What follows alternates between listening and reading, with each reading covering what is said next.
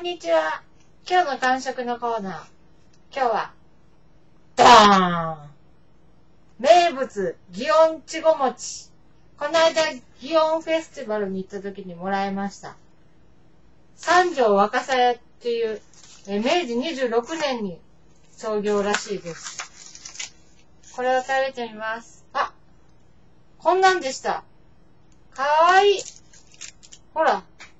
こんなお餅。うん。あ、あ、めっちゃお餅。柔らかい。うん。うーん。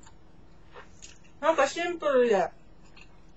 あ、お餅。美味しい。ね。やっぱしみ、老舗の和菓子は、日本茶と一緒に。うん。美味しい。うん、うん、うん、うん。こんなんなかなか、もらいもんじゃないと食べられないので、食べれて嬉しかったです。では、ごきげんようグッバイ